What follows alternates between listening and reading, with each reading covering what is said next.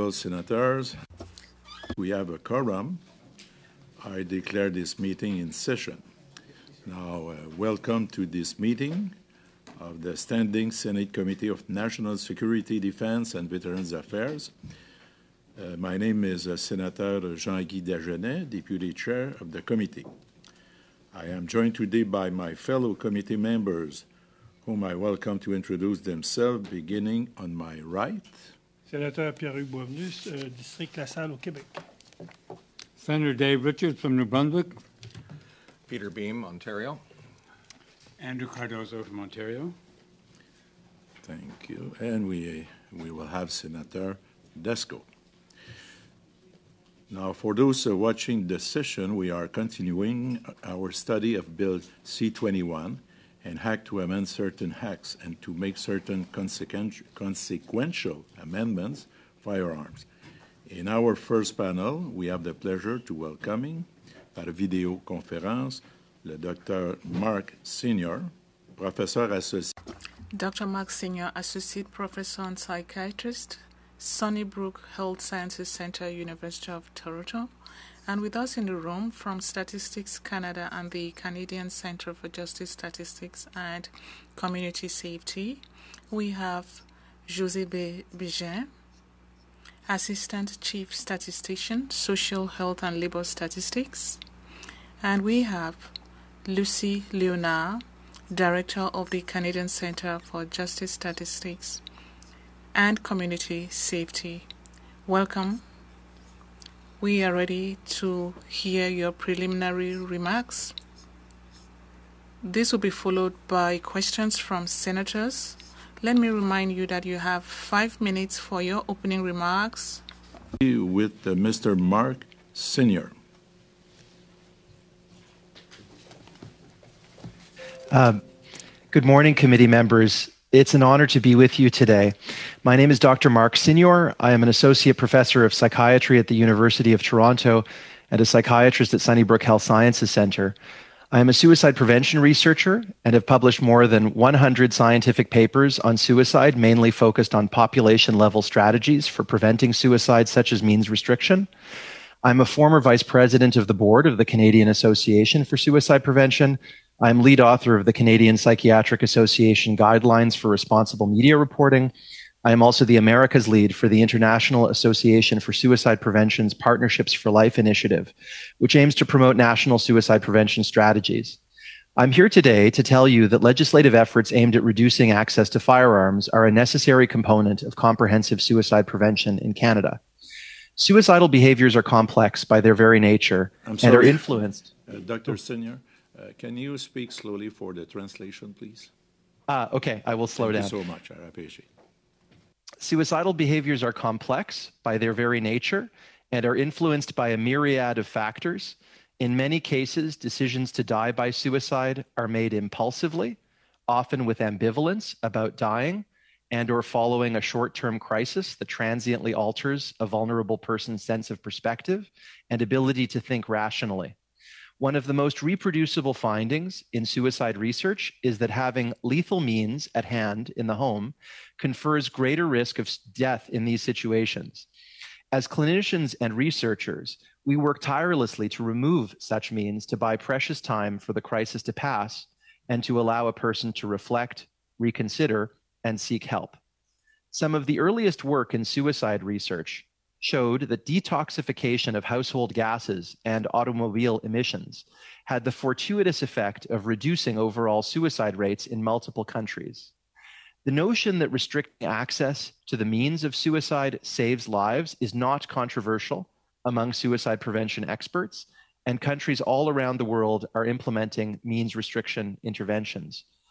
Arguably, the most important review of suicide prevention studies in the past decade concluded that, quote, there is now strong evidence that restricting access to lethal means is associated with a decrease in suicide and that substitution to other methods appears to be limited. The World Health Organization's Live Life Implementation Guide for Suicide Prevention in countries lists means restriction, including restriction of access to firearms, as the first of four key interventions, describing it as, quote, a universal evidence based intervention for suicide prevention. the notion that means restriction strategies, quote, don't work is myth number six in the Mayo Clinic's list of myths about suicide. One of the problems of population based research is that it involves large uncontrolled experiments. I know this intimately. The first suicide related study I published showed that a means restriction intervention in Toronto apparently did not work because people substituted one suicide location for another. I have spent the past two decades examining the data more closely and proving that the intervention did work, but that this was initially obscured by other factors. The complex, uncontrolled nature of these observations is why we must be very cautious in interpreting findings from analyses focused on firearm legislation and suicide in Canada. Some researchers have concluded that a reduction in firearm suicides with no change in overall suicide rates is an indication that legislation does not work. But this conclusion is only correct if suicide rates would otherwise have been stable in recent decades, and this is not a good assumption. Let's not miss the forest for the trees. From 1981 to 2008, the age standardized suicide rate in Canada fell by about 33%, a huge change that has been roughly stable since. This coincided with a precipitous decline in firearm suicides.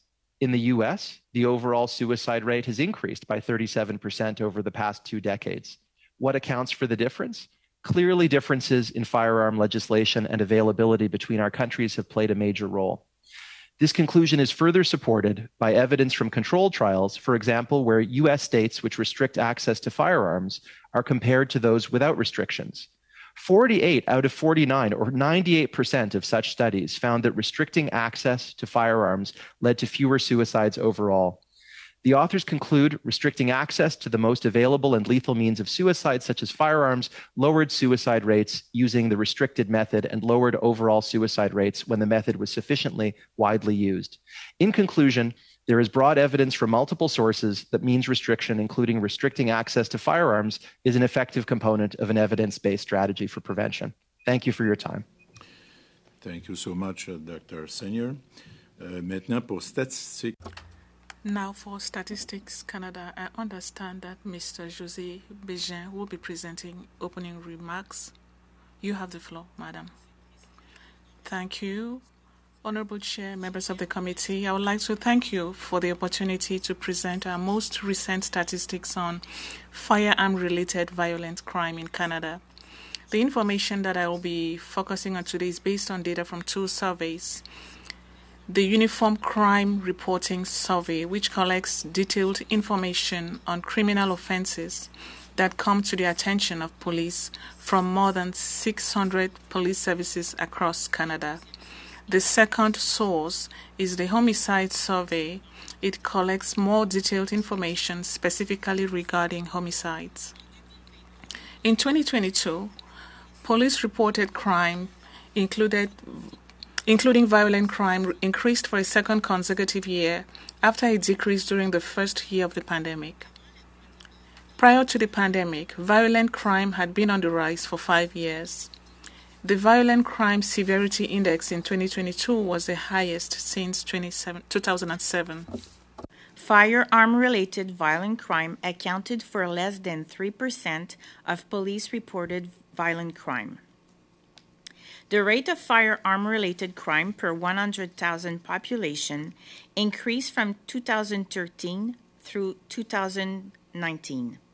Between 2009 and 2013, the national rate had actually decreased. In 2022, according to police reported data, Young men between the ages of 12 and 17 were most often the accused person involved in firearm violent crime, with 111 accused youth per 100,000 population. This rate was 40%, 47% higher than 10 years earlier. Young men aged 18 to 24 followed with a rate of 101 per 100,000 population, an increase of 4% from 2012. We are aware of the concern about the use of firearms in cases of domestic violence. According to our most recent data, about 1.2% of victims of intimate partner violent crime were involved in firearm related incidents. when considering intimate partner violence incidents involving female victims, the proportion of firearm related violence was higher at 1.3% relative to male victims at 0.6%. In 2022, there were about 14,000 incidents of firearm related violent crimes, or 36.7 incidents per 100,000 population. This rate was 9% higher than in 2021.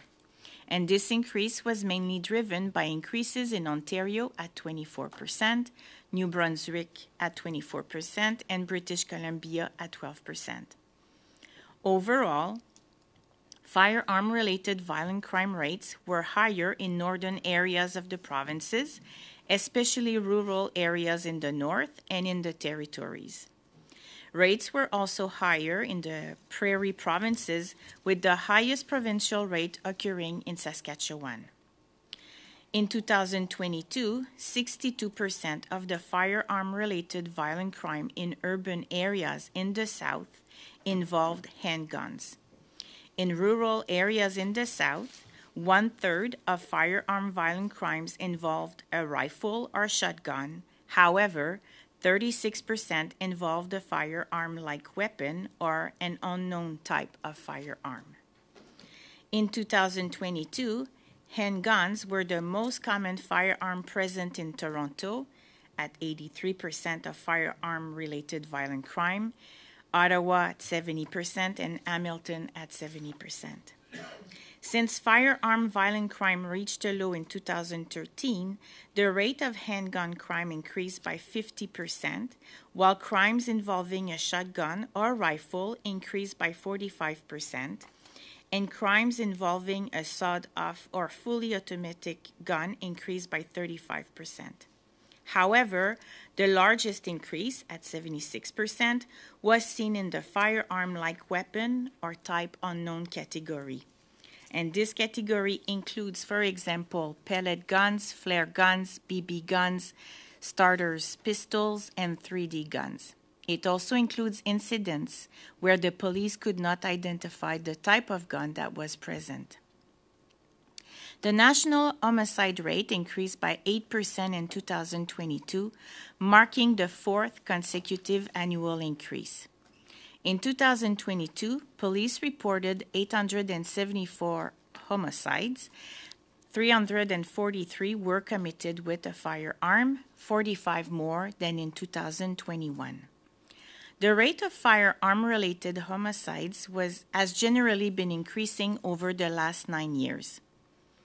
Since the mid 80s, the proportion of homicides perpetrated with a firearm was relatively smaller to that perpetrated with a knife or other cutting instrument.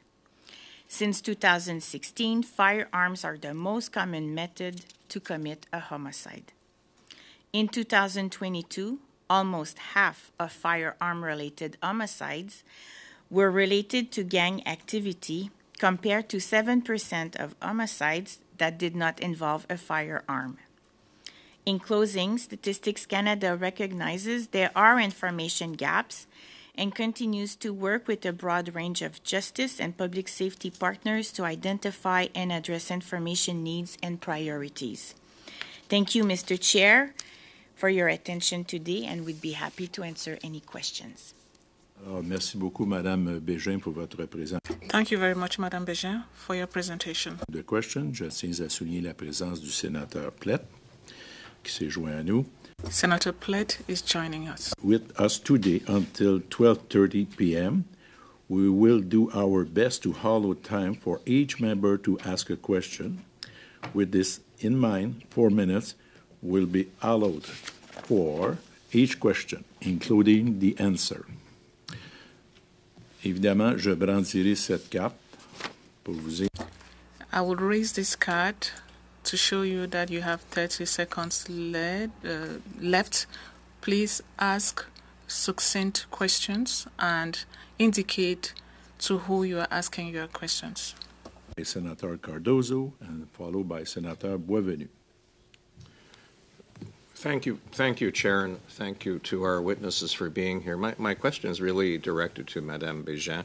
but uh, the other witnesses may wish to respond as well. Um, in the brief that Statistics Canada presented to us, you indicated that the rate of firearm related violence has generally increased over the past several years, and you mentioned that in your in your statement just now as well. And while firearm related violent crime typically represents less than 3% of police reported violent crime in the country, you indicated that it has a significant emotional and physical impact on victims' families and communities. To what extent do you think, and is it sort of statistically possible even to do a projection here, but to what extent do you think would the implementation of Bill C 21 help to reduce the physical and emotional impacts of firearm related violence in Canada? And also, I'd be very interested to know how does StatsCan define emotional impact?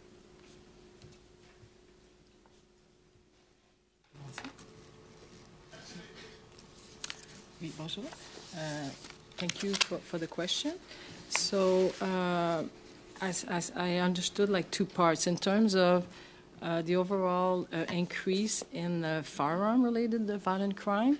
So, what we've seen in terms of since 2013, uh, the, the, large increase. There's been some fluctuation for one year firearm-related violence, but overall, we mentioned uh, a large uh, increase in firearm uh, incident, and it's mo- mainly the largest increase we see for firearm like weapon or known type of firearm. So we're not sure if that's the ghost gun or, but this is where the largest increase is of 76%. And this could partially be a result of the increase in, those incidents of fire like weapon or unknown type of firearm. It could also be the result of the increase in the rate of youth accused uh, of firearm related violent crime that we see. Uh, a major increase uh, over the past uh, decade of more than 40% for uh, youth under the age of uh, 18. It could also be um, accounting for uh, that those firearm like weapon or known type are also counting for a relatively large proportion of these crime, which was not there before as well, the ghost gun that have been discussed on this committee as well. The issue that we have in terms of some of the limitation of the data on this uh, increase of firearm is the UCR, the Uniform Crime Report Survey, where uh, all police services in Canada report does not allow for distinction between all of these firearm like weapon whether it's the pellet, the ghost gun, or the 3D gun. And uh, that's why, given the largest increase in this category, for us, it is unlikely uh, that it is uh, this type of weapon are contributing uh, to most of this increase. So again, we cannot for sure uh, mention where the increase comes, but in terms of this type of firearm, this is the largest increase we've seen since 2013. Uh, and thank, then, thank you. I'm sorry yeah, to interrupt you because uh, I know the clock is uh, okay. is ticking. But do you have um, a definition, or what is the threshold of emotional impact? Oh, that I don't think it's something we measure in the sense of uh, uh, of the data. Uh, but what we see with this bill is, in terms of better protection of victim, especially in the escalation uh, for example, I think it's in the protection order. So, in terms of the emotional impact, I think it's to stop a bit, uh, ideally, the harm to the victim, but at the same time, if this bill is able to uh, limit the access, of course, of firearm for individuals that have uh, that are demonstrating instability or at risk of, of causing harm to victim. Uh, this is where uh, us we understand us also working with victim and doing also uh, victimization survey at Statistic Canada, having worked very closely with many victim organizations, that uh, those uh, additional protection that the bill is adding to, uh, uh, you know, uh, incident of domestic violence, this is where it could then maybe deal with some of the emotional impact if it reduces the harm and the violence against the victim, especially of intimate partner violence. Okay. Madame Léonard. Alors, petite correction. Thank you, Madam Léonard. Small correction. Senator Boisvenu will be asking the next question. Thank you very much, Mr. Chair. Welcome, witnesses. Indeed, it is really concerning to see that between 1980, I could go further back up to 1990, there was a constant drop in the number of homicides committed with firearms, and since the beginning of 2000, there's been a significant rise. During that period, let's see the last 10 years, did you study the main factors that account to the increase in firearms uh, crime?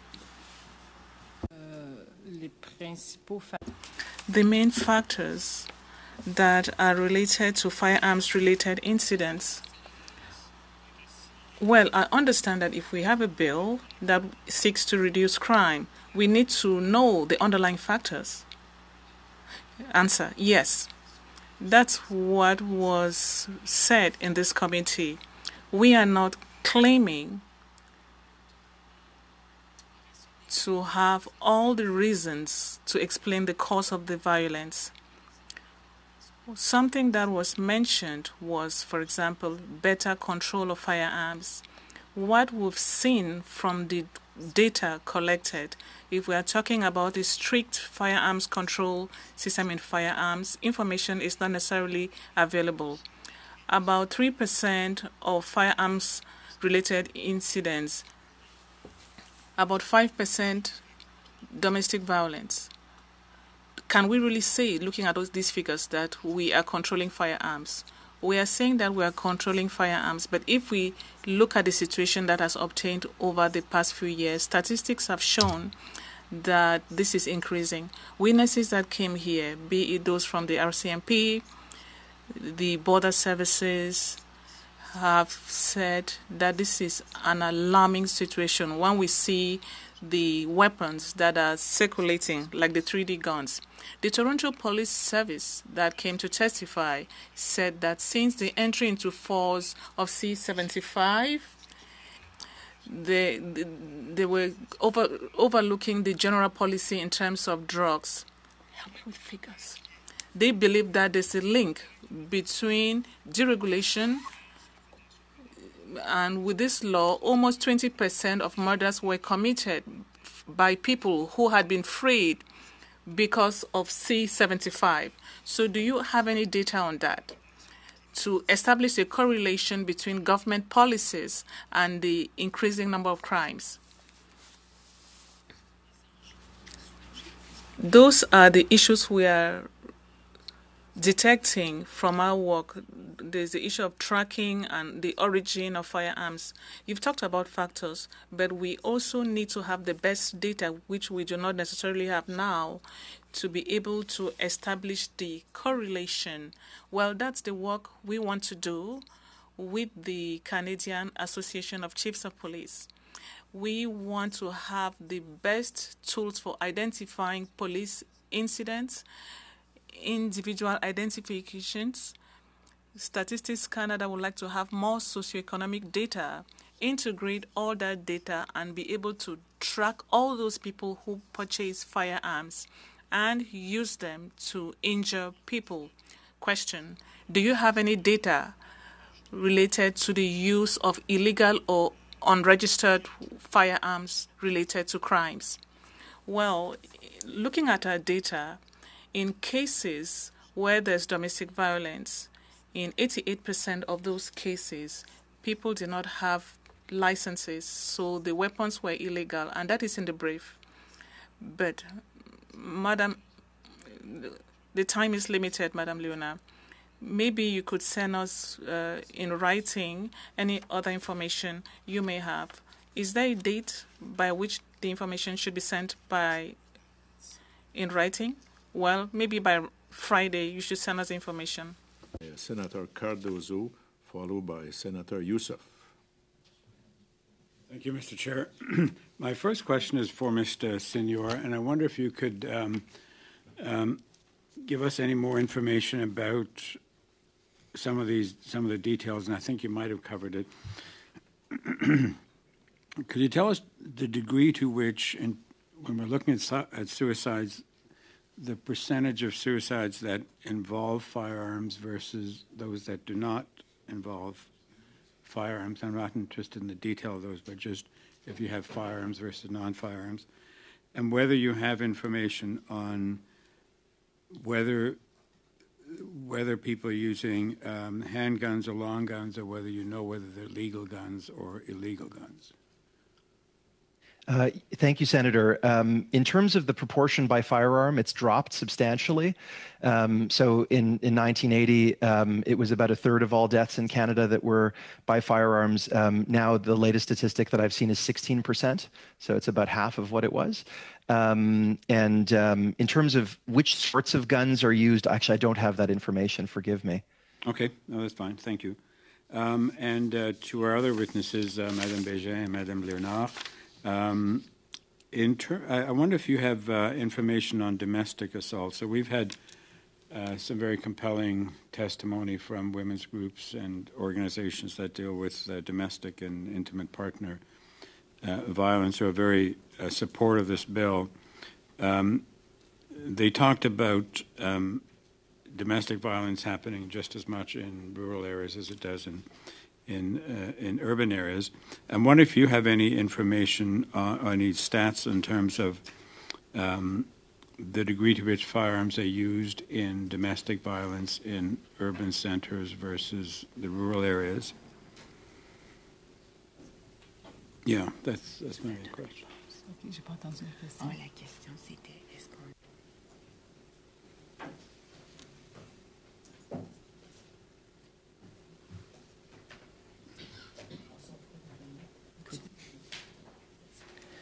So uh, in, in terms of the exact split, so that we could come back, uh, what we know for the um, intimate partner violence that we do collect in the uniform crime uh, reporting is that usually it's not an isolated incident, there is a progression. And that's what the data have shown. And uh, the uh, introduction, for example, of this bill or some of the suggestion to bring civil or emergency protection order uh, in the case of intimate partner violence, this is where it would, uh, for us, like we see that in the call for services uh, that the police receive, then that the uh, data could be collected to then maybe prevent the escalation. Because often when we see in the case of the homicide, often whether it's Sault Ste. Marie or other, we've seen recently that the offenders often had prior in domestic violence, but the information is not collected in a timely manner. So that's why the civil or emergency protection order, if the information is well integrated, then it would prevent the escalation and maybe some of the lethal violence that has been there, because that's what one of many of the witnesses have raised here as well, is that uh, the firearm-related issue, uh, we need to have better information and better sharing of information to prevent the escalation. Okay, and, in that context of the escalation, if I have 30 seconds, um, the use of the firearm is also a threat as opposed to not just necessarily being used and shot. That the very presence of a firearm becomes an, an object of, of a threat. Absolutely. And we know it's been mentioned as well here the, the, the, statistic that when there is the presence of firearm in a household, that for the women, they are five times more likely to then, uh, you know, that there'll be lethal violence. But this statistic is from the U.S. Here in Canada, uh, it's been said often that the presence of firearm does increase the lethal violence, but in terms of the exact statistic, we, we don't we don't have the same assessment that it's five times, but we know there's more likelihood that when there's a presence of firearm in the household, that then there would be more lethality uh, of the Madame situation. Léonard. Uh, for next Senator, Senator Yussuff, followed by Senator Richards, and followed by Senator Plett. Uh, thank you, Chair, and uh, uh, thank you, witnesses, uh, for being here. Um, I guess my first question is to um, Dr. Sinyor in regard to suicide prevention and um, the challenge that we face as a society in general around suicide. Um, just in the context of education around uh, use of firearms and people getting licenses, is there anything in terms of your research and uh, knowledge that you think we can do to better enhance how we can prevent um, suicide uh, in the context of trying to educate those who are uh, trying to obtain a firearm or trying to gain um, a license? Th- thank you so much for that question, Senator. It's actually quite a complicated question. And the reason for it is that if you think of probably the two biggest population level strategies for suicide prevention, one of them is restricting access to means. That's limiting access like firearms but the other one is decreasing cognitive availability like not educating people about how to end their lives. You want to educate people about how to seek help if they're in a crisis how to manage that situation. And so it's very tricky when you're educating someone about a suicide method um, you might have very good intentions and say well listen this is a common suicide method and you know here's how to avoid it. And that might have some benefits but you're also telling the person that they're obtaining something that can be used for suicide when that might not be on their mind um, and so that actually confers a bit of harm. That would have to be done very, very cautiously. I think um, probably the best advice that I could give is you want to focus on just having fewer firearms. That's probably the most important thing. Um, but for those people who have it, just really working hard on safety, um, especially just, you know, that they're not, the thing that really confers risk is having a method of death in the home easily accessible. And so any steps that one could take to decrease the accessibility of it. And in fact, you might want to focus because of that concern um, on on accidental deaths, saying, look, we heaven forbid that your child or someone should get access to this. We have to make sure that it's absolutely carefully protected. Um, and then, of course, that would have the ancillary benefit of being harder to access for someone for the use of suicide.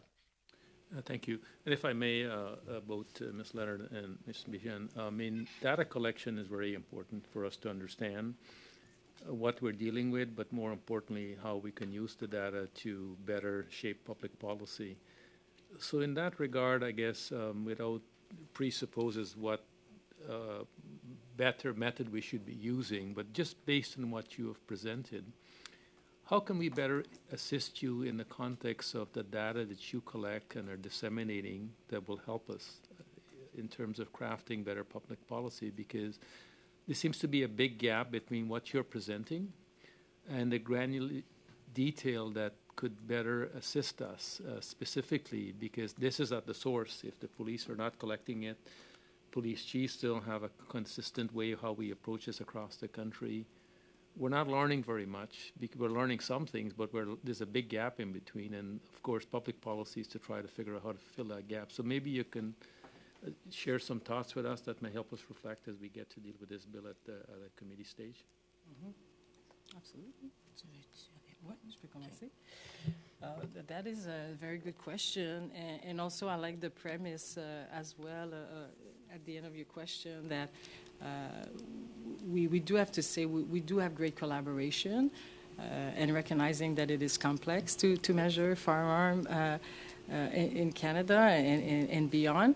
But in terms of the work we've done to date, especially with public safety and RCMP, it's really uh, at some point uh, it, was that's it the collaboration to try to establish a, a better framework for the collection of this uh, uh firearm uh, enforcement and uh, via horizontal coordination.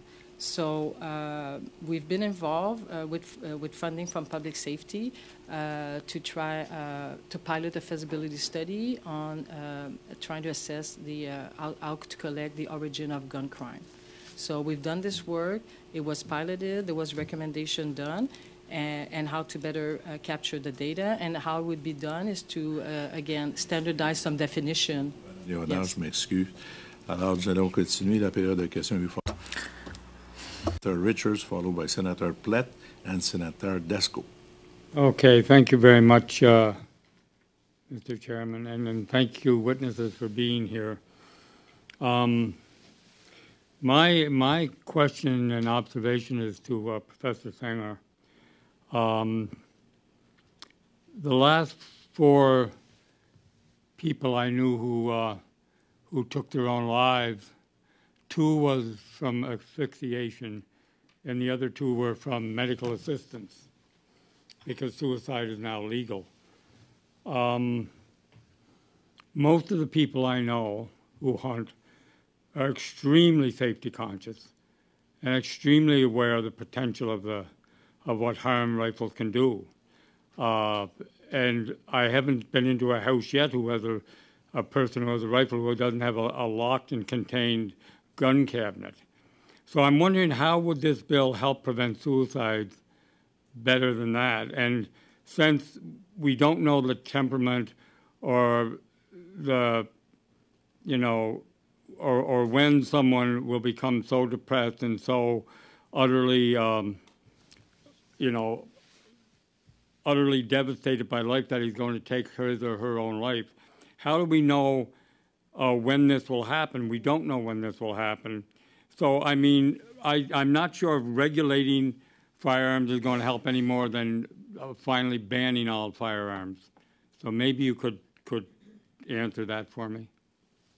I see. Uh, th- thank you so much, Senator. It's a it's a good question. My condolences on on your losses. Um, I, I think um, you, in a way you answered the question at the end there, which is that we don't know, and and that is. Um, you know, just to maybe contrast Canada with the United States, that's one of the main problems that they, we run into in the United States when I speak to colleagues is that um, they can't restrict access and prevent access to firearms there. And so they focus on trying to detect when someone is depressed um, or when might be at risk. But that strategy is has not, I mean, it has some success, but it's much, much less successful than just having no guns. Um, the way to protect against suicide is to have the minimum amount of guns available. Um, and so I guess the, the, best answer that I can give you is, um, you know, within within the parameters of what's acceptable to our society, we should just do our best to have the fewest guns, so that to your point, we don't know when someone will become depressed. When someone who becomes depressed will be at the point that they will think about ending their life. And so the thing that we really want to do is just make sure that there isn't something in their vicinity that could be used to end their life at that time to buy precious moments so that they can seek help. And also, one quick point: most suicidal crises are really fleeting. If you look at the point of um, of real danger, it's sometimes minutes, you know, maybe half an hour. Uh, and and having dealt with so many situations where you can see if the person could just have had a a moment to think about the situation, reconsider, that that's sometimes all that's needed. And having a firearm there is an interruption to that that is fatal in many cases. And so is a car uh, when they want to commit suicide by asphyxiation. Um, and so are many other means. What, what I am saying is that uh, I think that uh, uh clip capacity, uh, reducing clip capacity, wouldn't stop a person from taking a three out three and shooting himself. It would only take one bullet. I mean, what I'm saying is a lot of these uh, proposals in this bill wouldn't wouldn't help the potential suicide. That's that that's my that's my concern with uh, with your observation, sir. And so I'll I'll end it at that. Thank you. Merci beaucoup, Senator Richards. Senator Plett. Thank you, Senator Plett, followed by Senator Dasko. Chair, my question also is Mr. For Sinyor, uh, and I'm going to follow up on what Senator Richards said. Uh, first of all, if we would take all cars off the street, we would have no car accidents. Um, but my question is, as it relates to the study, um, uh, is uh, um, your your study or your your comment on comparing suicide by firearm in Toronto with the five largest metropolitan areas in the United States, something you co-authored with several colleagues back in 2019. And that study found that suicide rates by firearms were highest in centres where there was a high prevalence of firearms in such centres. And although Toronto had the highest rate of suicides by means other than firearms, uh, I think you would argue that the presence of firearms makes it more likely, which you already did. Uh, this is interesting, but you need to consider this in the context of the bill, because that's what we're talking about here is Bill C-21. Um, this bill does not actually reduce legal firearms in circulation in Canada. The bill will certainly ban the purchase of and sale of legal handguns, but it doesn't actually take any handguns out of circulation, at least not until someone dies. Then that uh, the state loses that handgun. And of course, nothing prevents handgun owners or anyone else from owning or buying another firearm. The bill also confirms a ban on so called assault rifles, but it doesn't reduce any other firearms in circulation, including semi automatic firearms, in fact, the government will actually pay gun owners to hand in the firearms that have been prohibited and then permits those firearms owners to use that money to go out and simply buy other firearms if they choose to do so. So, uh, sir, in the pre- if the presence of firearms is raising the risk that suicides will be successful, then what impact will this bill, Bill C 21, have when it is actually not reducing the legal firearms that are now in circulation. Thank you, Specifically. Bill C-21. Yes, thank you. I, I think um, there are different ways to answer the question. I mean, first, I might quibble very slightly with the beginning of what you said about cars versus um, firearms. Actually, that was one of the major findings that um, when cars were de- detoxified in the 1990s, it had a dramatic impact. It's much harder these days to end a person's life with a car than it used to be in the past. Um, and the rates of it are very, very low. A handful of people who do it every year in, um, in Toronto, whereas um, a firearm is a much easier. Uh, well, uh, sir, let me interject for one second. Yeah. I didn't say people were killing themselves, uh, suicides by car accident. I, I said simply if there was no car on the streets, there would be no car accidents, period. Oh, that's true. Uh, fair. It's a fair point. And I guess part of the, what you have to decide is do we need cars and do we need firearms? The answer to those questions may differ. But I, I, what, what I will agree with you on is that. Um, you know, uh, essentially, I think any effort to reduce uh, either access or availability to firearms is going to be the most effective strategy in reducing suicide. For example, to the previous senator's last comment about clip uh, numbers, I imagine that could be very helpful for uh, homicide prevention or mass homicide prevention. I don't believe that that specific uh, finding will will impact suicide. So uh, you kind of have to decide which elements of the bill might work for different elements of harm that are caused by firearms. But the bill doesn't take any guns off the street. So that would be better. I would I, certainly, from a suicide prevention standpoint, it would be good to do more of that. Uh, fair enough, but then we need something other than Bill C 21. We're dealing with Bill C 21. It does not do what you're suggesting you would like done. That is my point. Not that I fully support we should do anything we can to, to, to prevent people from committing suicide. There's, there's no argument. Uh, the argument that I have is Bill C 21 doesn't do that. Uh, so uh, why don't we find a different mechanism than this? Because this isn't the answer to what you're suggesting. Senator Plett. Now, Senator uh, Dasko. Senator Dasko. Thank you, Chair, and thank you to our witnesses for being here. Um, my question is for Dr. Sinyor as well, and um, thank you very much for your work and also being a Torontonian. I very, very much value the uh, presence of Sunnybrook Health Sciences in my community. It's a it's a great institution, and I'm very pleased that you're associated with it. So, um, so your theory, you are a population specialist in population suicide issues and prevention.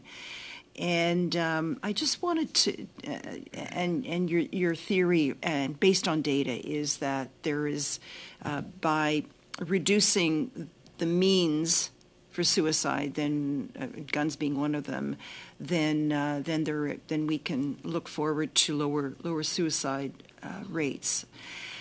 Now, um, uh, let me uh, let me just uh, ask a couple of questions. First of all, I guess a little bit related to what Senator Plett just asked you, but um, with respect to the bill uh, and your understanding of it, should there be greater restrictions on firearms um, from what we are, are contemplating in this bill? So, would that help suicide rates if we actually had greater restrictions in C21? Uh, and secondly, help me understand something that has come up a couple of times in this committee.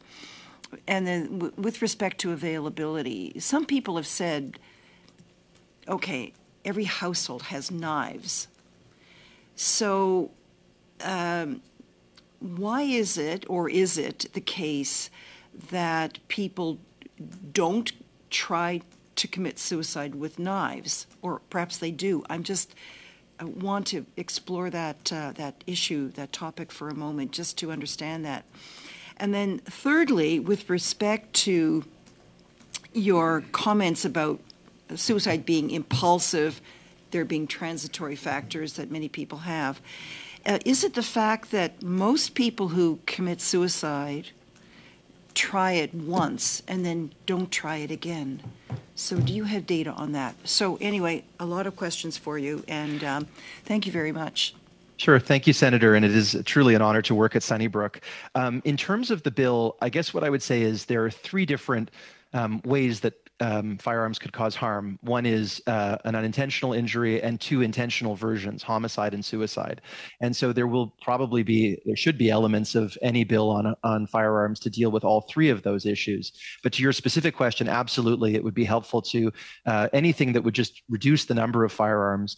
Um, uh, if we could be adding that to the bill, would help in reducing suicides across Canada. And that goes to the second question you ask about knives. Um, people do try to end their lives uh, with knives. We see them clinically in the hospital sometimes. Um, it's a much harder way to end a person's life, and most frequently the action is non-fatal, and then someone will show up to the emerge, and it offers us an opportunity to intervene, which is very rare. I can think, and you know, off the top of my head, of dozens of cases of people who have uh, used a knife to try to end their life, who I've seen in the hospital. I can think of no cases of firearms um, because they're so lethal. Um, and and um, in terms of your question about uh, time number of attempts, it's a it's it's variable. It is true that the majority of people who die by suicide do so on their first attempt. Um, it's roughly 50 50, but a bit more on the first attempt. And so, what you really want is whatever that first attempt to be non lethal so that it gets someone into, uh, you know, into attention and to care, and so that an intervention can be done. Thank you. Before we start our second round, I have a question for Madame Bégin. Sorry, uh, Miss Léonard. Criminologists like saying we always need to look on statistics on murders for 8 to 10 years to arrive at valid conclusions and sometimes episodes are uh, incidents are episodic like from gangs. Should we avoid rapid findings or things that could be led by emotion, particularly when it's time to modify our regulations? That's a good question. Yes, indeed. That is why we would like to see how this bill can help us better assess what is being done. In this case, firearms are circulating in Canada. Some will say they are legal firearms, and we're trying to get uh, data on that throughout the country. Others will say that there's a mix between legal and illegal weapons. For example, you have the RCMP that has its tracking center that is trying to show that we are never able to identify some firearms available. In this context,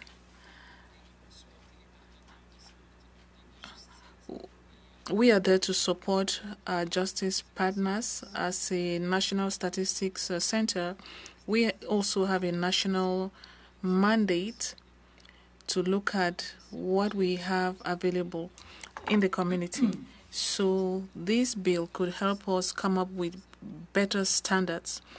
So when it comes to legal or illegal weapons in Canada, well, there we will be we can be able to inform bills. We will begin with uh, Senator Boisvenu, followed by Senator Yussuff, and followed by Senator Richards. My question goes to Statistics Canada. Do you have any comparative studies amongst people between 16 and 24 years when it comes to the use of firearms when a crime is committed? Do you have comparative data between the use of shotguns and the use of uh, sh shotguns and the use of rifles? Thank you, uh, Senator Boisvenu. That's a very good question. I think we are looking at a detailed study of firearms and the profile of holders of those firearms. So we can give you more information with the age groups it's not the same thing for adults and juveniles. But the statistics you provided a while ago are very disturbing when we look at those between 16 and 18, where the percentage of increase for crime with firearms exceed all the other categories. And when a crime is committed by a minor, particularly in Quebec, and when they become a major or an adult and commit another crime, the previous data uh, is uh, deleted from the system. But the bill we have before us, C21, is based on the rise in crime.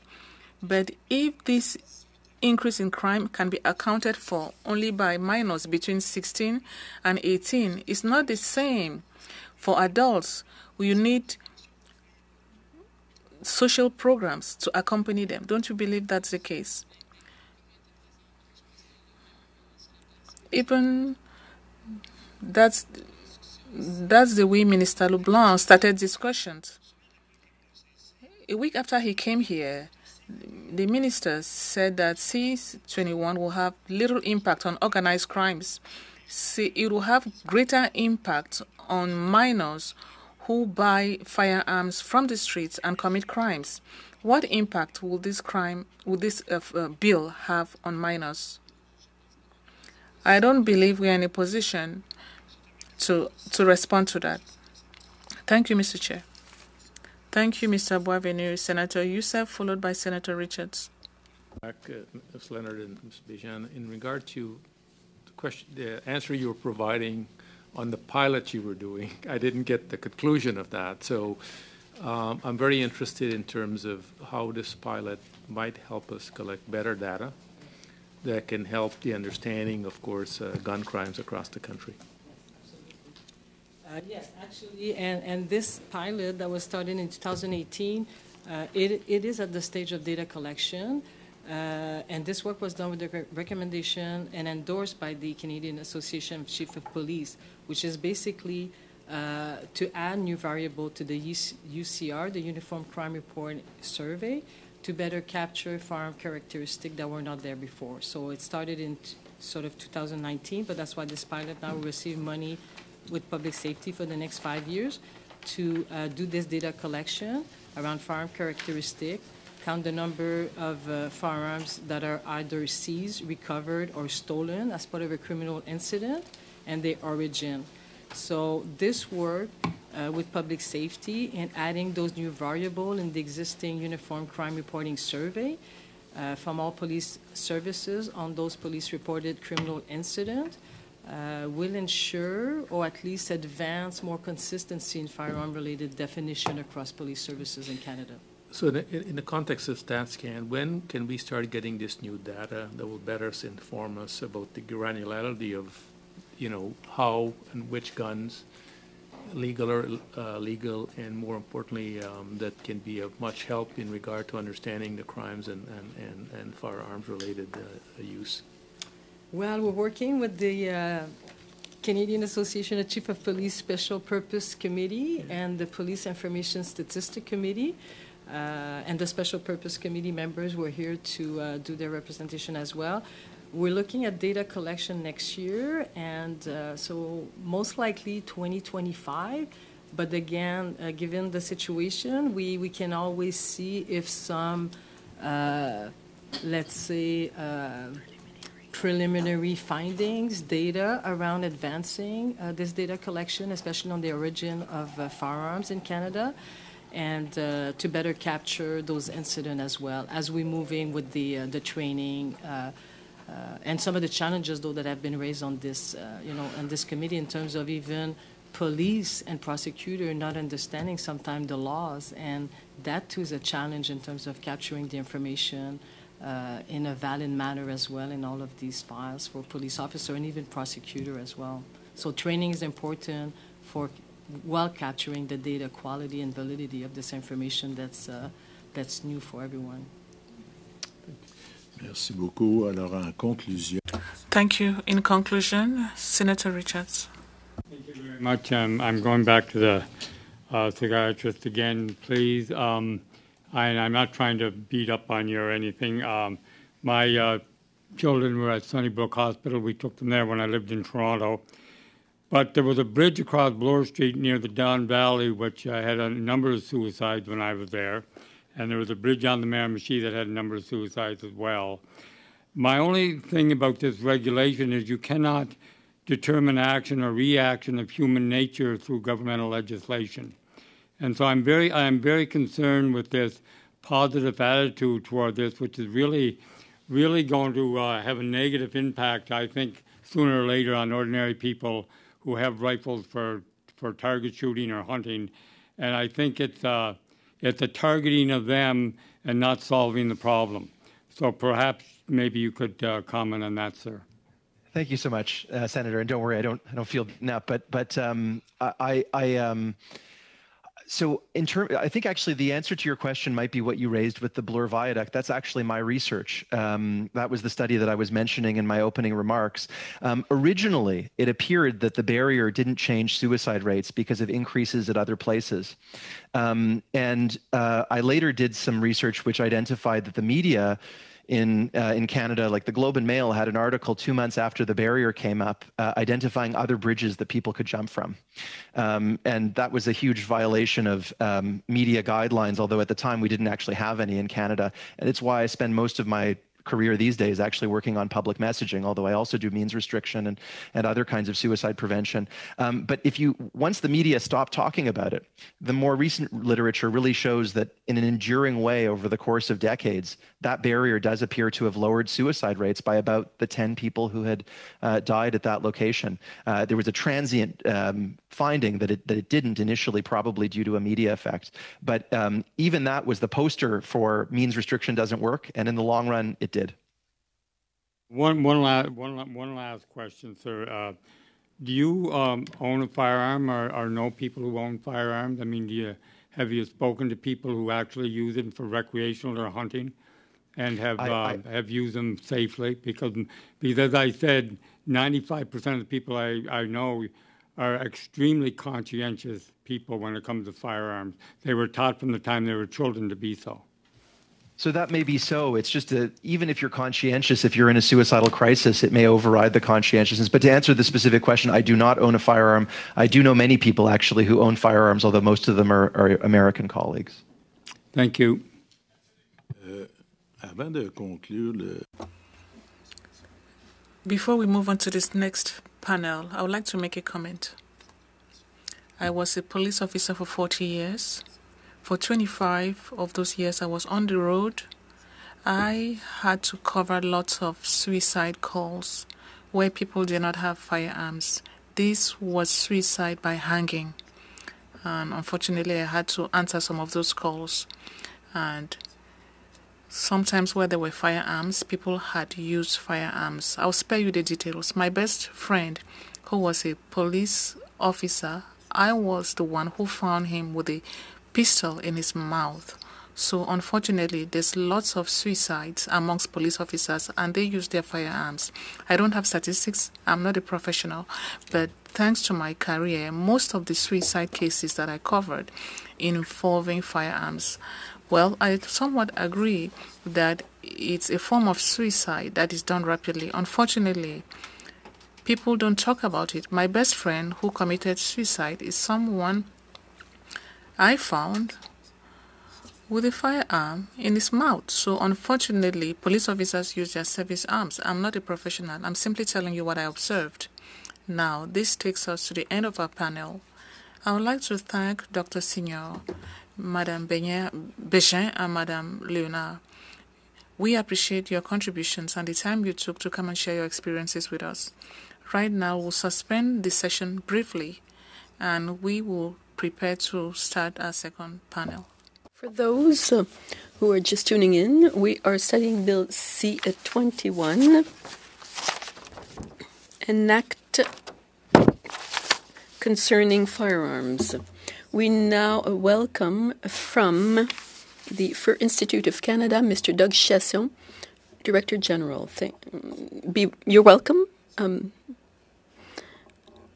and we are happy to have you with us. You have five minutes for your uh, statement. Now, Mr. Chiasson, please proceed when you are ready. Good afternoon, Senators. Uh, my name is Doug Chiasson. I'm the Executive Director of the Fur Institute of Canada.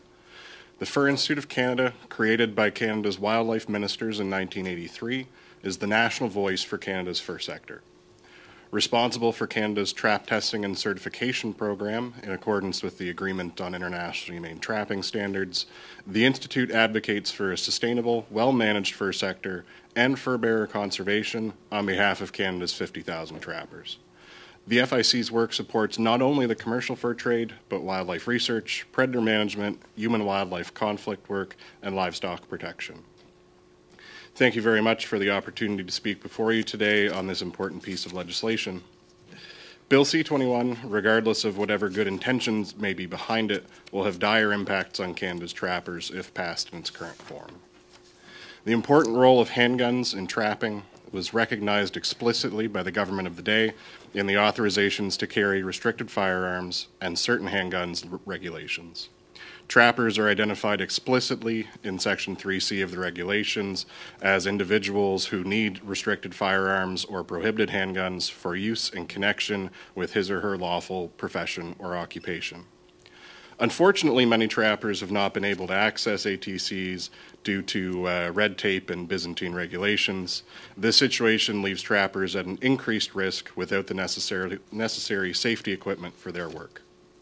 Trappers use handguns and other restricted firearms for two primary purposes humane dispatch of trapped animals and for self defense from large predators.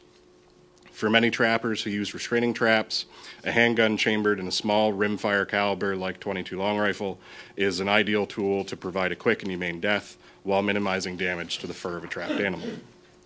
As well, bears, mountain lions, and wolves are all large predators which regularly are attracted to trappers setting or checking their traps. As trappers often have their hands full with dead animals, lures, or other attractants, while handling traps, tools, and other items, a handgun worn on their person can be much more easily carried and quickly brought to bear for defense than a long gun. A trapper hunting in a predator heavy area may be inclined to carry both a 22 for dispatch and a larger caliber handgun for self defense. Carrying two long guns, in addition to the other tools of the trade, is not a workable solution for trappers in the bush. Therefore, Bill C 21 will put certain trappers in the position of having to choose between their own safety and maintaining the value of the fur they've harvested. C21's centralization of the issuance of authorizations to carry with the Commissioner of Firearms has the potential to slow an already slow process to a near halt. Disconnects between the timelines for issuance of provincial trapping licenses and issuance of ATCs already create situations where trappers are unable to obtain ATCs for the start of the trapping season. Further centralizing this process will functionally eliminate the ability for trappers to obtain ATCs in a timely manner. The committees heard testimony from firearms businesses who report extreme challenges in dealing with the Canadian Firearms Program, including repeated phone outages. Adding another task to the CFP's plate will make the service provided even worse.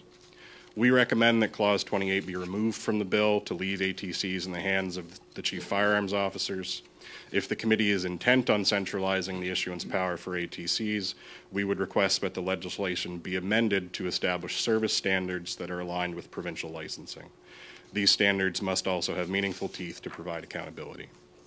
As you've heard from many other witnesses, Bill C 21 in its current form would significantly decrease the number of people eligible to purchase handguns, which will lead to a decrease of availability in the firearms retail space and corresponding increases in price. We are already seeing this with the closure of many firearms and outdoor retailers. This will add to the financial burden on trappers who are already suffering from the impacts of a sagging international fur market, inflation, and increased cost of living.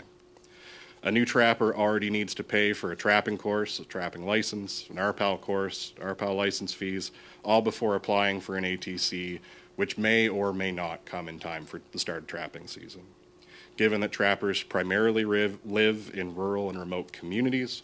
Further restricted retail presence could add hundreds of kilometers of travel to procure a firearm or an, uh, an RPAL course.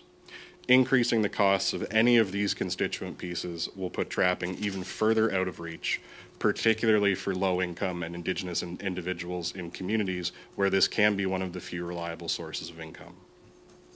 These fundamental flaws must be addressed before C21 is passed into law. Amendments are necessary.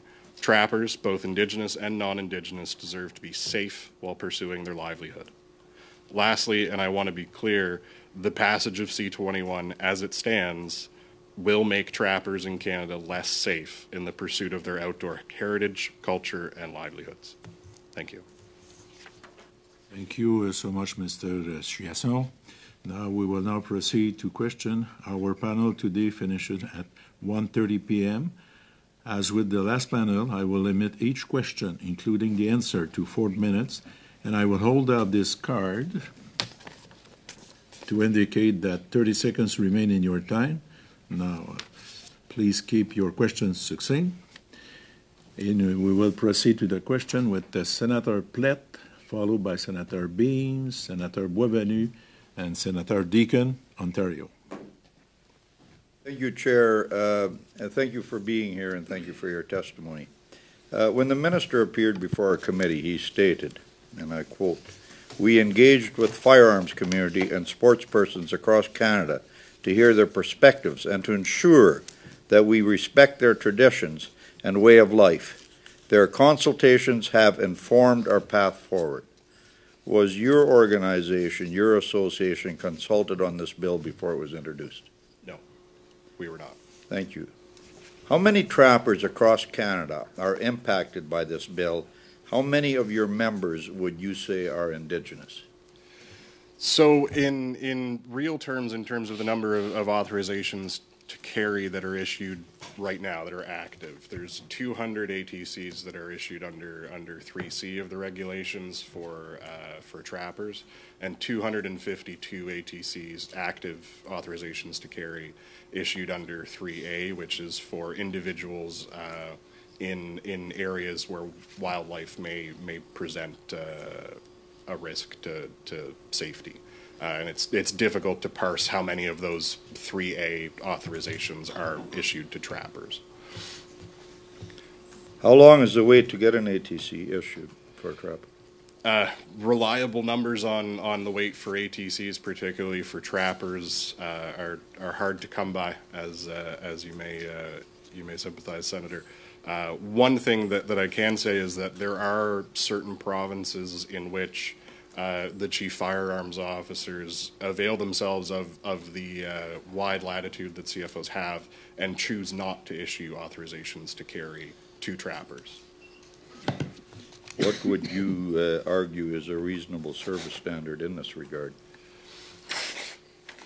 I think the, the ideal number would be uh, the ideal service standard would be ensuring that the ATCs would be issued before provincial trapping seasons open. So if if the uh, if the Canadian Firearms Program came back and said we can we can get them uh, we can do them in five months, that would be great. We can inform members that to get your ATCs you need five months. You need to have your application in five months ahead of time. Uh, but you know certainly the shorter the better uh, in in terms of, of a reasonable service standard. The um the bill will incrementally close shooting ranges in Canada and in general. It will create an environment where it will become more difficult to safely require handguns.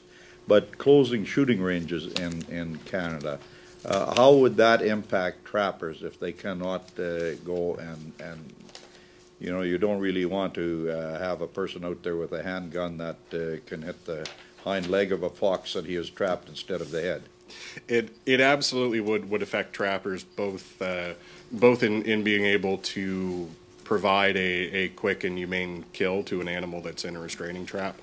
Uh, and also being able to effectively defend themselves. If trappers aren't comfortable using their weapon or not experienced using using a firearm, uh, using their particular firearm, uh, that's uh, that's certainly less than ideal situation. And for for certain provinces where there is a requirement to complete uh, annual or, or, regular firearms training with a handgun in order to receive an AT to receive a provincial uh, provincial permission to use that handgun in in pursuit of trapping. Uh, closing of, of shooting ranges would make that much more difficult to obtain. Thank you. I Thank you so must much, be running close to my time. Yeah, sure. You have uh, two seconds. well, I'll use those two seconds to say thank you. Thank you, Senator Plett. Now we follow with Senator Boehm, followed by Senator Boisvenu. Uh, thank you, Chair. Thank you, Mr. Chiasson, for being with us uh, today. Uh, your um, your brief and your um, statement was uh, was very clear, and I'm going to follow a little bit in uh, in the direction where Senator Plett was a moment ago, and uh, and that is on the the issue of um, humanely killing trapped animals. In your remarks, you mentioned this is usually done with a with a handgun and sometimes with a 22 short uh, short rifle. Uh, I used to have one uh, one of those, and it's still a bit of an ungainly uh, weapon if you're pulling it out as you're trying to get a wounded animal out of a trap or dispatch it in, in some way. And my question is very simple. Um, for trappers, is there any alternative other than the handgun or or a 22 to dispatch an animal? So certainly, uh, thank you, Senator, for, for the question. Certainly, some trappers do use long rifles um, for particularly for for uh, trappers who aren't necessarily in the the thickest of bush while they're doing their trapping. Trappers that are operating, say, in, in open country in the prairies uh, or trapping field edges, they they do use uh, long rifles. But there's no other uh, other alternative that would be an easy e- easy method. There there certainly are are other potential ways to to provide for for safe and humane dispatch, but the uh, the option that provides the safest environment for a trapper is to be able to stay at a reasonable distance and use a firearm. Yeah. Okay. Thank you. Thank you, Senator Boehm. Senator Boisvenu, followed by Senator Deacon, Ontario. Merci beaucoup, Monsieur le Président. Alors. Euh... Thank you, Chair. Mr. Chiasson, welcome to the Senate. I did trapping for about 20 years. My father in law taught me that when I was in a, a BTB. I would like you to talk about safety, the safety of the trappers, because we know that people usually do this alone in the forest with no means of communication. This is done usually in winter, difficult conditions.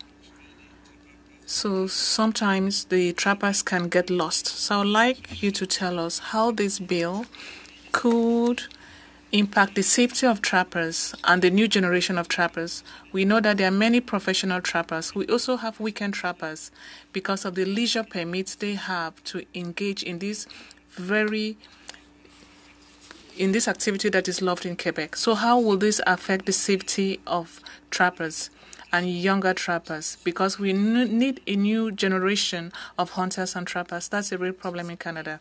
Thank you very much, Mr. Senator. That's a very important point. And thank you for this opportunity to talk about this. Trappers, as you have said, are people who are doing something that involves a risk to their safety. Trappers are generally alone in the woods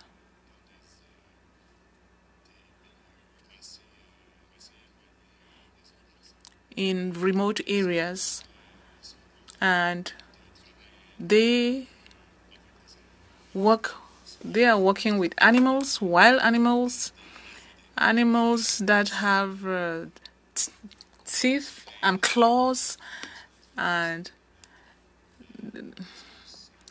other animals like uh, bears that constitute a significant risk for their work So we see about 200 trappers with licenses and some 250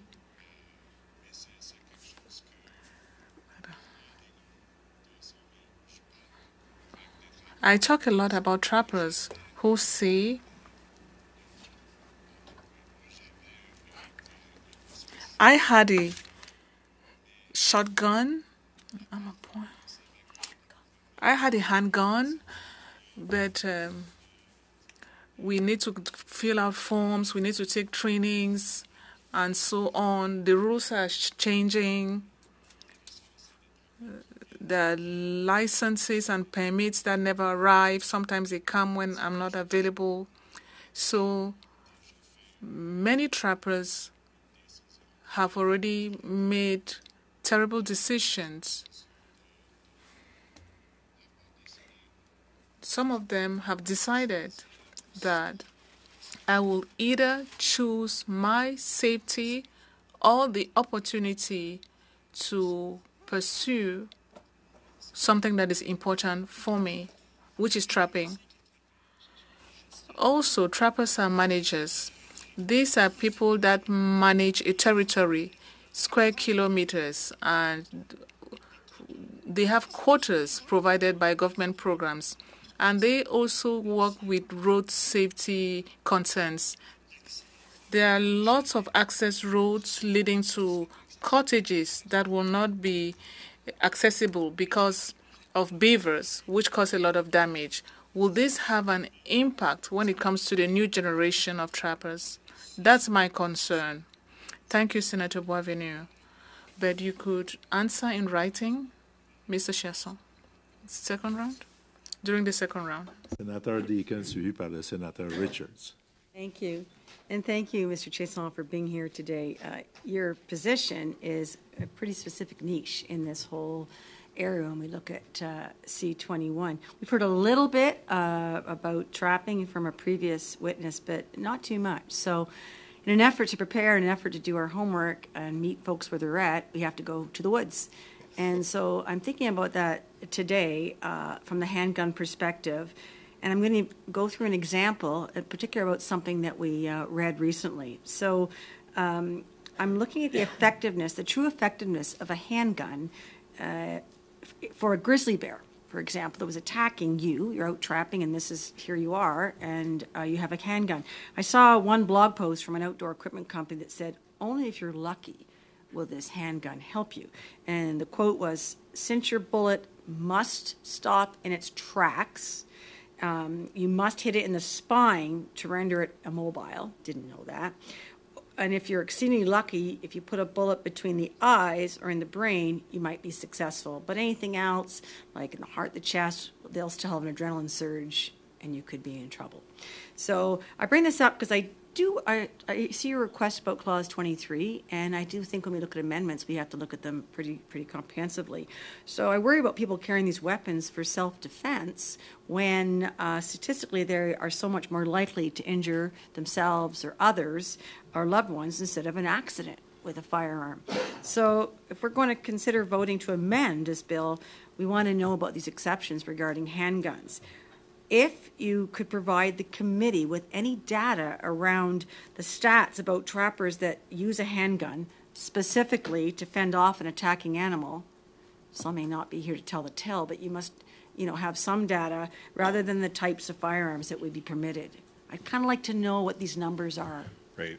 So, so Senator, this is actually something that I've I've worked to try and, and procure before this meeting. Uh, the the reality being is there there isn't much in the way of, of centralized reporting mm-hmm. for avoided conflict. Right. Uh, this this is something that certainly provincial provincial natural resource departments or forestry departments mm-hmm. uh, would have some degree of data on uh, fatalities, mm-hmm. but not necessarily on a uh, not necessarily a situation where a trapper or hunter or backwoods surveyor uh, used a firearm in self-defense mm-hmm. where it didn't it didn't trigger some other reporting requirement. Mm-hmm. So you know, it's certainly uh, less less relevant to, to trappers, but you know, a defense kill of a polar bear in Nunavut mm-hmm. requires very particular reporting to the Department of Environment in Nunavut. Um, a killing of, of a grizzly bear in particular would require very significant reporting, but using a firearm to defend oneself against a pack of coyotes or a particularly angry lynx or mm-hmm. a black bear, uh, where the the the bear thought better of the encounter after being engaged with with a firearm. Um, I'm not aware of any provinces that actually require reporting that incident. Thank you. Do I, Mr. Chairman, more time? Uh, you have uh, 30 seconds. Thank you so much with the earlier comments, so the data there is scant, it's spread out, there's probably some stories, those pieces. You- But you all, but you're very clear that this bill as it is and not being amended puts risk uh, on our trappers, and you have the data for that. So we certainly have have plenty of, of trappers in, in our organization and in provincial affiliates that Mm. can speak to their personal experiences in using their their handguns in self defense. Thank you. Thank you, Mr. so Chair. much. Uh, We continue with Senator Richards, followed by Senator Yussuff. Thank you very much for being here. Um, I, I have problems with this because I think it is an arrogant law and it, it parents people who are every bit as moral and conscientious as the people passing the bill. And I don't think it will help uh, reduce crime. But most of the trappers I know no longer trap. They're, well, there's a lot of them are my age, but even the younger guys didn't take it up because it isn't an e- easy life, is it? No. I mean, you have uh, before even before this draconian measure, you have your your line, your territory, your traps, and uh, and an increasingly limited market because of the bad publicity trapping, trappers getting, and uh, and uh, the idea of trapping animals get. Could this be the death knell for a number of trappers you know? I think there there certainly would be trappers that if if they're no longer uh, if if they find themselves in a position where they're no longer able to feel safe in the backwoods, they will not go. Yeah. Uh, they they will hang up their traps and, and say this is the end of the line for me. Uh, and and really that is that is the key here is that this this comes down to a, a safety issue for for trappers. And and certainly I don't think that uh, you know we we've had the the regulations on authorizations to carry on the books for for 20 years over 20 years now. Um, trappers do not represent you know tens of thousands of firearms on the landscape. They represent a very particular use Right. case and a very tightly controlled one, uh, who unfortunately are are going to end up being caught up in in a much larger issue that's that's far beyond their control. Yeah. What's the, what's the, what is the market like? How pinched is the market now for, fur? So there there are some some bright spots uh, on the horizon when it comes to the fur market. Uh, we've seen some some fairly significant increases in the beaver market in in recent years, uh, but compared to the fur market of, of 35 years ago, it's it certainly is a, a much uh, much declined industry. Uh, but beyond the uh, beyond the simple dollars and cents of, of the fur trade, you know, trapping is, is a very important cultural and heritage activity for uh, for people living in remote and rural Yeah. communities, both indigenous and non-indigenous. Yeah. Thank you. To Senator Richards, Senator Yussuff. Uh, Thank you, Chair, and, and, and thank you, Mr. Chiasson, for being here. Um, one of the things that I'm struck by that you raised, which is, uh, I guess, uh, requires some reflection, is the time it takes to get an ATC. Um, um, is there generally inconsistency across the country because of how um, permits are issued in, or is it just varies from jurisdiction to jurisdiction that might, might be a little bit better in one place but terrible in other places because of staffing issues? So, so it certainly varies across the country. Where currently the ATCs are issued by the chief firearms officers, there there is variability across provinces and territories, and and certainly as as I mentioned earlier, there are provinces where you know simply you will not get one. Um, the the CFOs refuse to issue uh, ATCs for the purposes of of trapping. And do we know why that is? Uh, I think that would be a very good question for the, the CFOs. I, I won't uh, I won't speculate as to their motivations. Because there's nothing preventing them from doing it legally. If you have one, you could renew it, and, and it shouldn't be a, a- Yes, an yeah. issue. But it, so there's some biases in the system in regard to, to doing uh, Yes. to doing that. Now, obviously, I, I- I think you did mention one point which I just wanted to, to focus on. Um, uh, you were suggesting that five months is a reasonable time frame. So so I I used five months purely as a as a, I needed a number for my for my uh, example. Uh, so thank you for the uh, for the opportunity to clarify.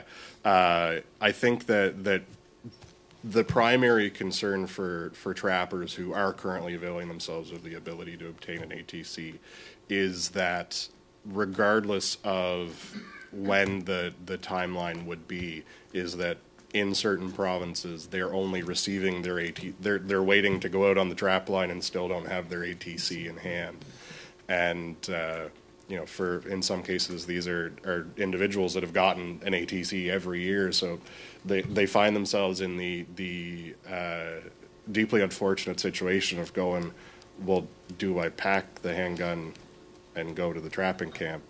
I know I know by the time I come back it'll be here uh, you know, for so I think that that what really would be beneficial would be just setting what the timelines are. Uh, you know, certainly, uh, I, I would hope that timeline is not a year. Uh, because for, for folks that may be renewing trapping licenses, getting new trapping licenses, but it's it's something that I would hope there would be greater collaboration and cooperation between the the CFOs and the provincial licensing agencies for who issue trapping licenses, and and have them come together and say, well, it takes us X number of months to issue a trapping license. Can you issue an ATC in the same period? Uh, or can you make sure that we've issued our trap because you will need your trapping license to get your ATC to say if you aren't able to issue trapping licenses before X date, we won't have time to issue the ATC before the start of, of trapping season. From your experience, do these folks ever talk to each other? I, I don't think they talk to each other as much as we would like. Okay. it's like the checks in the mail, right? Yeah. That kind of attitude. So, um, listen, I appreciate, uh, um, you know, some of the points that you're making, and, and thank you for sharing them with us. Thank you, Senator. Uh, merci, Senator Yussuff. Thank you, Senator Yussuff. Before we start second round, since we have some time left, I'll ask a question. Mr. Chiasson, I would like to come back to trappers as individuals. What's the proportion of trappers who are from the First Nations? Do you think that indigenous trappers will be favored by the provisions of C21 when we talk about safety and the possibility of carrying their weapons?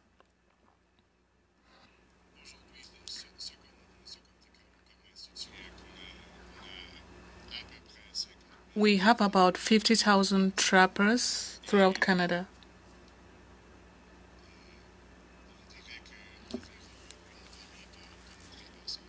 About 50% of them are indigenous trappers. It's a bit difficult to put a specific figure on that because we have some jurisdictions where indigenous trappers do not have licenses we don't have a spreadsheet with exact numbers, but we think that about 25,000 trappers in Canada are indigenous.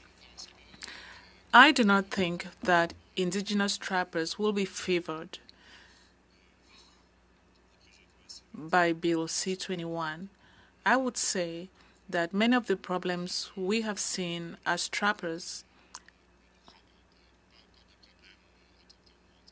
are problems that concern all trappers, not necessarily indigenous trappers. Thank you very much. We shall continue with our second round of questions. Senator Boisvenu. Thank you, Chair. Uh, I'll try to follow up with my ideas. I'll continue with the same topic as before. As I said a while ago, trappers are at the heart of the management of wildlife in Canada, and trapping is mostly done on crown lands and this is land that is used for forestry, hunting, and fishing. And trappers have some kind of responsibility to secure the land. So, what's the impact of this bill on the young people, which is which are already threatened? Will this worsen the drop in trappers in Canada to the extent where it's the government that will have to take responsibility over those territories. It's a problem that we foresee, foresee if we see the changes that we see in the bill being implemented and in combination with the concerns that Senator Richards mentioned a while ago. Now, uh, the numbers of trappers uh, is stable, but it's changing. Well, it will change in the future. If this bill, if there were an amendment that you could accept, which one will it be? More importantly,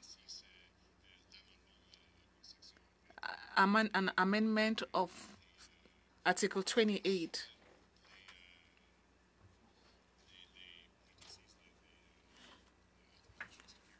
so that ATCs not be centralized with the Canadian Firearms Program. And this responsibility should stay with the provincial arms uh, controllers. And if this authority is centralized, we would like to see service standards be the same and indicated in the bill. Thank you. Thank you, Senator Boisvenu. Today's meeting, I'd like to extend your, our sincere thanks to Mr. Chiasson. We greatly appreciate your contributions and the time you took to share your insight with us. Uh, notre prochaine réunion aura lieu lundi. Our next meeting will be Monday, the 27th of November at 3 Eastern Time, 3 p.m., 3 Eastern Time. At C 128, we'll be starting clause by clause study of the bill. Contact uh, the Office of the Law Clerk and Parliamentary Counsel should they wish to bring forward amendments and to share the amendments with the clerk as soon as possible. Si vous souhaitez que vos amendements soient regroupés, if you want your amendments to be collated and distributed before the meeting, please communicate with the clerk latest Friday morning. Otherwise, bring enough copies of your amendments to the meeting of the 30th. On that note, I wish you a wonderful day. Thank you so much.